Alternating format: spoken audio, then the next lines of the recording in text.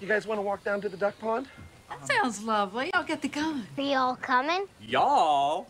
We don't say y'all. Yeah, we do. No, well, yeah, we say it here, but not normally. Well, did you ever think this is how I really talk and that I talk different like when I'm not here? Y'all fighting? No, no, sweetie. We're just having a conversation about how your daddy can be so stuck up. Cam, that's really mature. Use our daughter to get your little digs in. I would never do that, sweetie.